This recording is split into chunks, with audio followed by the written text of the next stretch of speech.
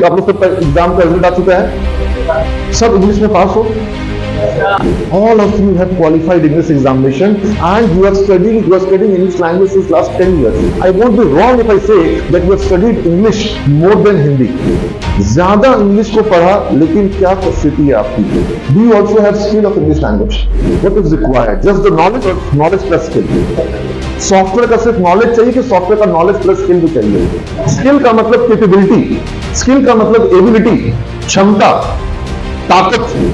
So you all are having knowledge of english language, but you are lacking in terms of skill of english language दो course हमारे यहाँ, एक university course दूसरा कौन ज़रूरी है? दोनों ज़रूरी है।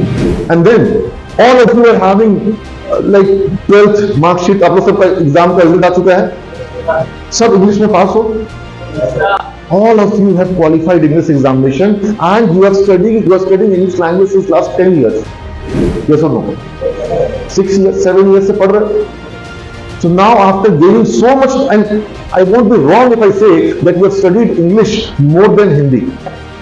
You have studied English grammar more than Hindi व्याकरण. Yes or no? True? ज़्यादा इंग्लिश को पढ़ा, लेकिन क्या स्थिति है आपकी? You I am I I accept that you may be having knowledge of English language do also have skill of English language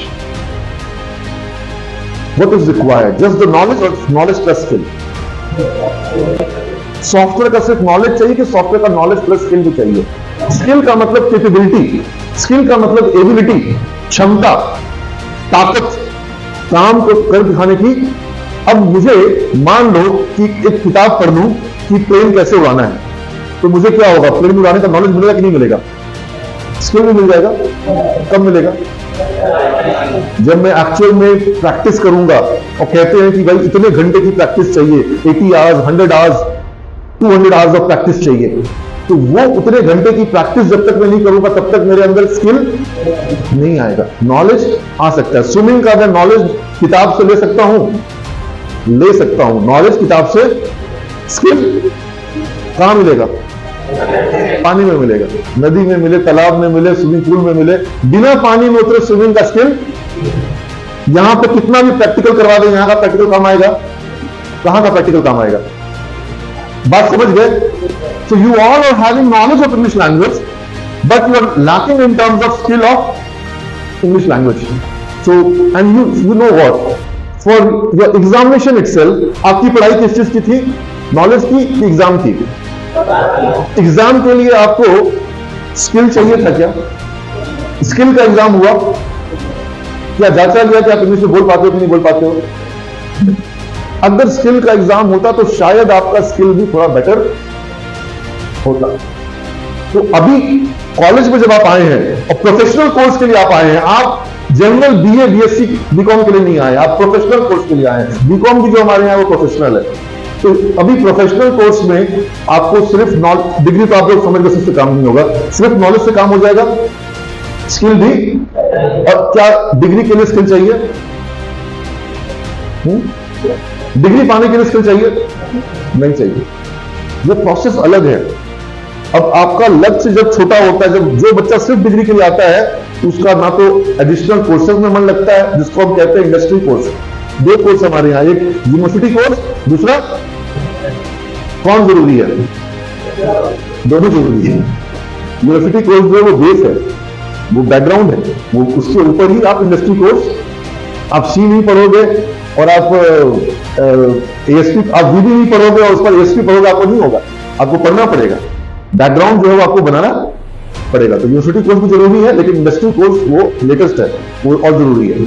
फिर उस कोर्स को सिर्फ़ पढ़ना है एग्ज़ाम पास करना है कि उसमें कंपिटेंसी डेवलप करनी है। कंपिटेंसी डेवलप करनी है स्किल चाहिए कैपेबिलिटी चाहिए कॉन्फिडेंस चाहिए। कॉन्फिडेंस इंग्लिश में आपके पास कॉन्फिडेंस है? नहीं नॉलेज है मार्क्स है। कॉन्फिडेंस क्या चाहिए? कॉन्फिडेंस चाहिए। बाज़ार में वैल्यू किस चीज़ की होगी? आपके इंग्लिश के मार्क्स की कि आपके इंग्लिश से कॉन्फिडेंस की कॉन्फिडेंस की वैल्यू होगी। बोलो तो इंटरव्यू में किससे आज तो सब तबियत ठीक नहीं है, इसलिए इंग्लिश बोल नहीं पा रहे ऐसा बच्चे बोल देते हैं, मेरे पास बोल देते हैं कि सर भूख लग रहा है, इसलिए इंग्लिश बोल नहीं पा रहे ये सब बात का कोई महत्व है? कोई महत्व नहीं किस चीज़ का महत्व होगा? परफॉर्मेंस एक्सक्यूज का महत्व नहीं होगा, महत्व किस चीज़ का होगा? परफॉर्मेंस का। तो ये मैंने आपको क्लियर कर दिया नॉलेज प्लस स्किल ये दोनों चीज़ें चाहिए और ये दोनों चीज़ें तभी मिल पाएँगी जब डिसिप्लिन होगा। और वो डिसिप्लिन आपके अंदर सीरियस कमी है। और लाइफ में अगर कोई बच्चा तीन साल डिसिप्लिन ला दे लाइफ लंबी है। और उस लंबी लाइफ में तीन साल छोटा सा पोर्शन है, अब काफ़ी सारा कुछ पहले वेस्ट कर चुके हैं। वहाँ पर भी डिसिप्लिन से फ़ायदा होगा, लेकिन वहाँ पर डाइवर्ट किया है।